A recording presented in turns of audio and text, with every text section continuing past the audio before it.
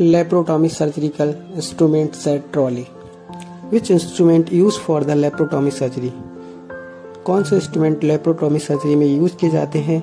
एक एक करके हम सारे इंस्ट्रूमेंट के बारे में बात करेंगे और एंड इसके यूजेस के बारे में।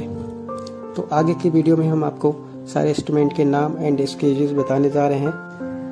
फ़र्स्ट जो इंस्ट्रूमेंट दिख रहा है, उसको बीपी हैंडल बोलते हैं। Second Metzenbaum scissors third tooth forceps fourth needle holder fifth Kelly artery forceps six curved mosquito haemostatic forceps and seven Kocher artery forceps Allis forceps and Babcock forceps and journey detector and divers detector gauze piece sponge holder electrosurgical cautery pencils and जो ऊपर की तरफ़ जो instrument दिख रहा है उसको हम बैक हॉर्स टॉल क्लिप बोलते हैं।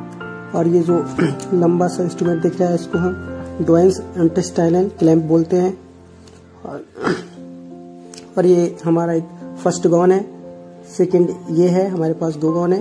एंड ब्लू जो दिख रही है आपको नीचे वो कट सीट है। और नीचे जो प्लेन सीट है। ओके